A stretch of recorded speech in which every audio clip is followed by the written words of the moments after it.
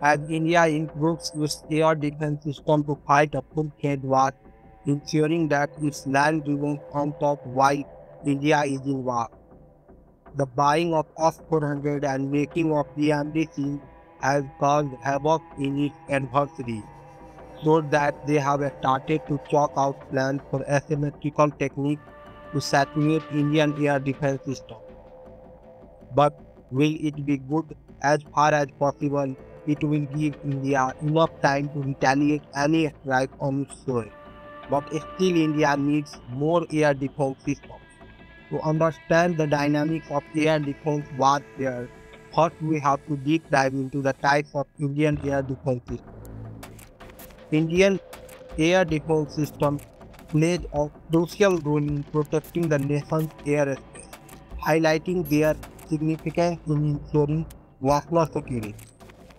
India's air defense system is bolstered by a fleet of modern aircraft equipped with state-of-the-art airborne systems.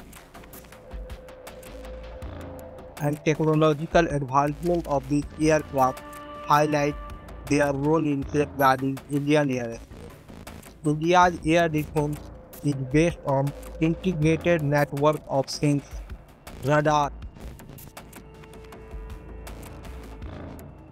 The two-tiered BMD system consists of PAD, which will intercept missiles at atmospheric altitudes of 50 to 80 km, and AD, missile for interception at endo-atmospheric altitudes of up to 30 km. The deployed system would consist of many launch vehicles, radars, launch control center, and the mission control center. All these are geographically distributed and connected by a secure communication network. The Prithvi Air Defense PAD is an anti-ballistic missile developed to intercept incoming ballistic missiles outside the atmosphere. Based on Prithvi missile, PAD is a two-stage missile with a maximum interception altitude of 80 km. First stage is solid fuel motor while the second stage is liquid fuel. Guidance is provided by an inertial navigation system with mid-course updates from LRTR and active radar homing in the terminal phase. PAD has capability to engage the 3000 km class of ballistic missiles at a speed of Mach 5. PAD is fast enough to hit medium-range ballistic missiles. Advanced Air Defense is an anti-ballistic missile designed to intercept incoming ballistic missiles in the endo-atmosphere at an altitude of 40 km. AD is a single-stage solid fuel missile with siliconized carbon jet fins. Guidance is similar to the PAD with indigenous radio frequency seeker. It supports inertial navigation system, mid-course updates from ground-based radar and active radar homing in the terminal phase. It is 7.5 25 feet tall, weighs around 1.2 ton, and a diameter of less than 0.5. The S-400 missile system comes with an integrated multifunctional radar with autonomous detection and targeting system.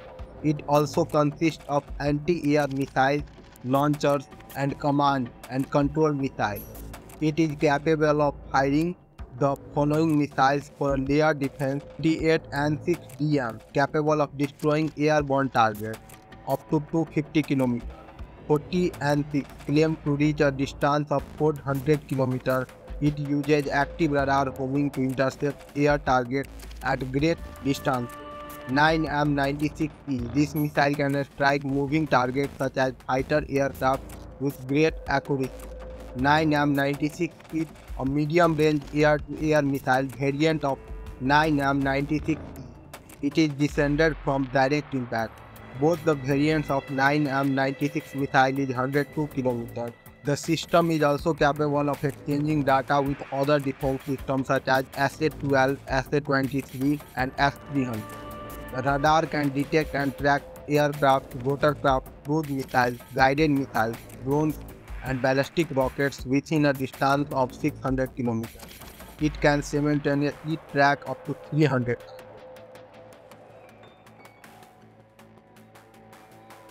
MRSAM is the land-based configuration of the missile. It consists of command and control system, tracking radar, missile and mobile launcher system. Each launcher will have 8 such missiles in two stacks and are launched in a canister configuration. The system is also fitted with an advanced radio frequency system.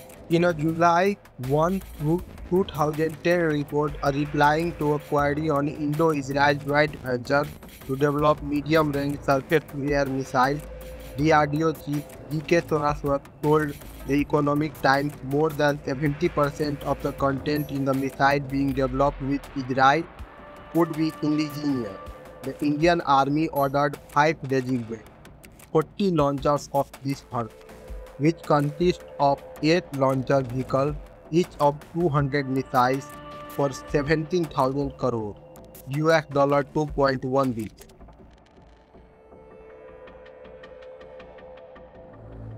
Akash is a surface-to-air missile with an intercept range of 25 km. It has a launch weight of 720 kg, a diameter of 35 cm, and a length of 5.78 meters. Akash flies at supersonic speed, reaching around Mach 2.5. It can reach an altitude of 20 km and can be fired from both tracked and wheeled platforms. An on-board on guidance system coupled with an actuator system make the missile maneuverable up to 15 G load and a tail chase capability for an in-game engage. A digital proximity fuse is coupled with a 55 kg fragmented warhead, while the safety arming and detonation mechanism enables a controlled detonation. S-125 Pechora is a surface-air missile system of Soviet origin. For a very long time, this system has been the backbone of Indian Air Force air. This system is 60 years old as it was first inducted into service by Soviet Union in 1951. This system has participated in almost every modern conflict. It has countless skills against various adversaries. IAF operates 25 squadrons of Pechora.